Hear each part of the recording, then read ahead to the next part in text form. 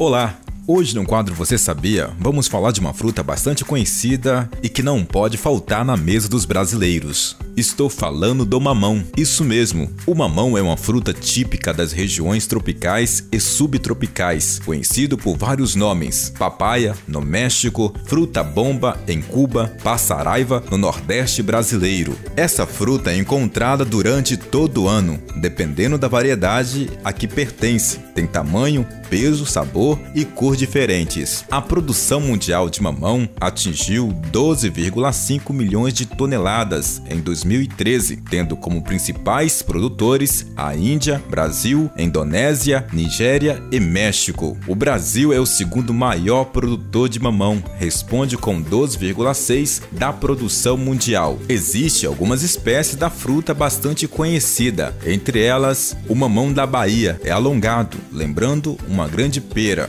O mamão da Índia tem saliências no sentido longitudinal. O mamão macho também é conhecido como mamão de corda corda é fino e comprido, e o mamão fêmea é bem maior, com forma arredondada. A fruta mamão, quando maduro, é consumido a natura. O mamão é um excelente alimento, pois a polpa é muito rica em nutrientes, contém grandes quantidades de sais minerais como cálcio, fósforo, ferro, sódio e potássio, e também é rico em vitaminas A e C. Lembrando, para quem gosta de mamão, uma fatia de mamão todos os dias garante garante um bom funcionamento dos rins e o fígado. O leite de mamão é usado também para amaciar carnes duras. Com certeza, essa fruta jamais vai sair da mesa dos brasileiros.